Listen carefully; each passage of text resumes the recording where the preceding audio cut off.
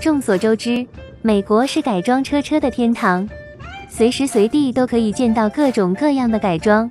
今天我们来盘点一下那种奇葩的改装。这屁股扭的，估计连变形金刚也很难做到。比我爷爷还老的车，换个发动机又可以上路了。开棚牛角车还不带门的，有没有见过？估计不带轮子的车也很难找到第二辆了。